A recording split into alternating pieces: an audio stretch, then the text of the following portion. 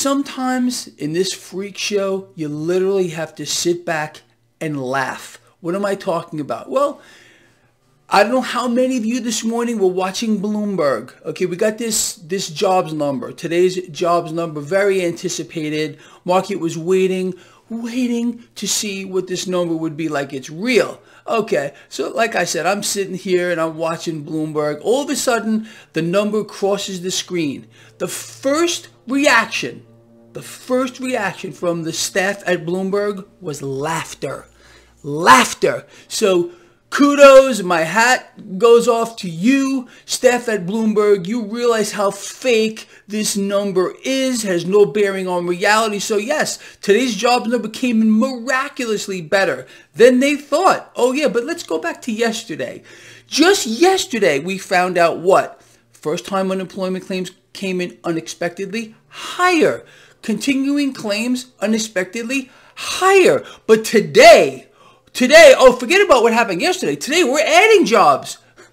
And again, the reaction from Bloomberg, I don't know about the other channels, I wasn't watching, but Bloomberg was laughter.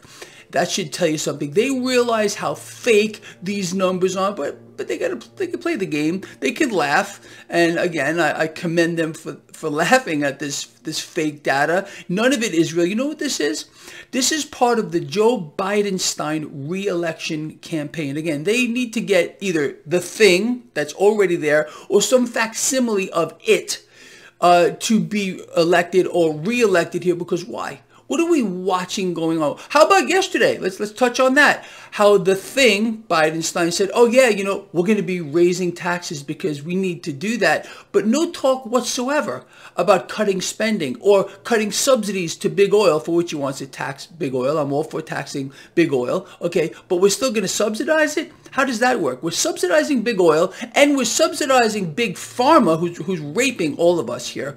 Uh, what, what did he say about big pharma? Oh, we're gonna we're gonna make sure that we cut back on you know uh, spending on ridiculous things. You mean uh, maybe things like this? Oh, I can't say the word anymore. Oh, that's true. I forgot.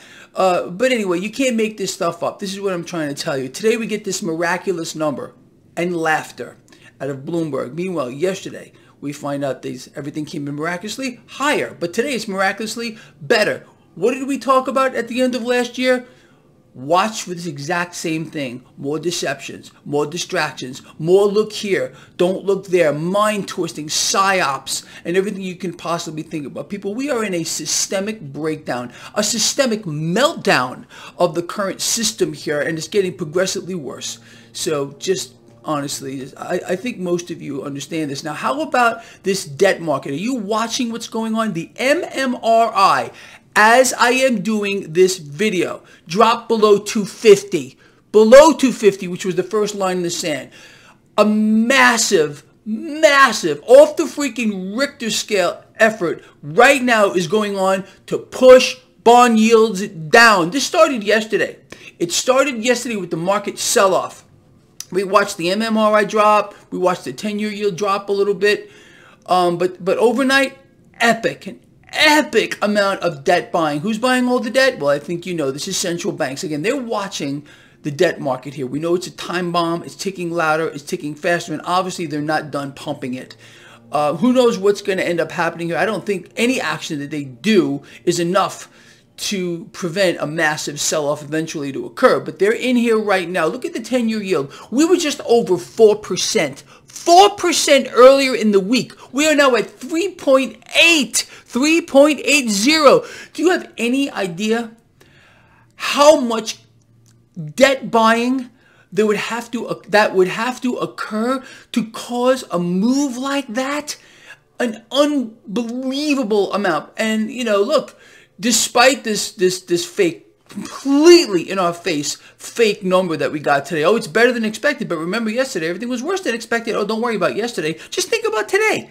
Because Joe Biden or some some it like him uh, needs to be reelected and Joe Biden is going to tout this number, but he won't tout yesterday's number. He'll tout today's number. Watch. Watch when it comes out later and talks on the news about it. Anyway, it's all a farce. It's all a fantasy. But again, um, it's this debt market uh, charade is pretty incredible. Started yesterday, really got going overnight. It's going on right now. MMRI below our first red line in the sand. With that, stock futures right now are relatively flat, meaning stocks are going to open relatively flat.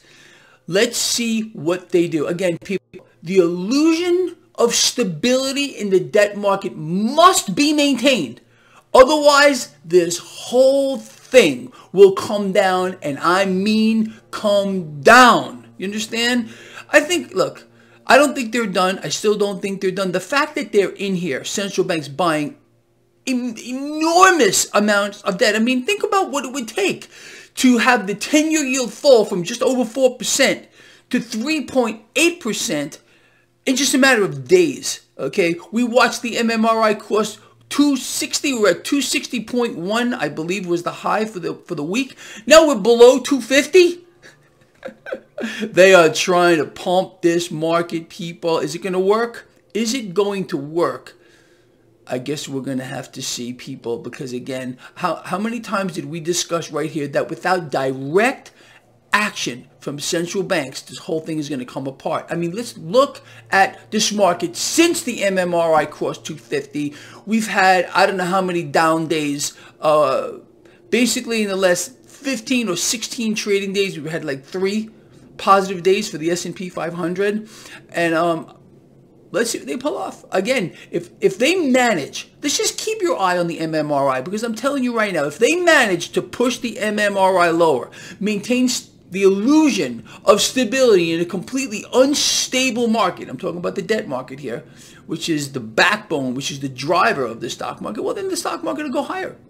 If they cannot maintain that charade, it's over. It's over for the market. It's over for everything. I explained this phenomenon to you. When Burry, when Michael Burry came out with his prediction of a crash, when Rickards came out with his prediction of a crash by mid-year, I said, all of it. They may be right. But it, it's all dependent on what happens in the debt market. If, if the illusion of stability is maintained, stocks are going up. If the MMRI bang, bang, bang continues to rise, stocks are going down. You see, we don't have to guess. We don't have to guess. You can get these predictions from Burry and, and from Rickards and from, I think, no less than four Wall Street banks here uh, saying that we got a big problem here in the market. Yes, sure. Of course we do. But it all depends on the debt market. Anyway, so let me just cover what I wanted to talk about here. So let's, you know, let's talk about the market. So stock futures, like I said, relatively flat. Gold and silver catching a bid right now. Cryptocurrencies under a little pressure right now. Uh, crude oil slightly higher this morning. Relative strength of the dollar lower. And as I said, 10-year yield 3.8. MMRI 2.47, 2.48. No, I'm sorry, 247 to 248. I got these decimal points on the brain this morning. Anyway, so heavy debt buying, which started yesterday, playing out overnight. This is central banks, period, the freaking end. And this whole thing, I mean, honestly, I, I love, I love it when a little bit of truth comes out. I don't know about you, but I, I used to play a lot of poker back in the day. And you get to learn to read people, uh, what they're thinking, without even seeing what their cards may be. But the initial reaction today from the staff at Bloomberg on this miraculous number was laughter. And I'm laughing too. And I'm sure you are as well. But again, this is, and you're going to hear this number being played out. And some, maybe even some people on YouTube are going to believe the data is true, but none of it's real. It's all fake.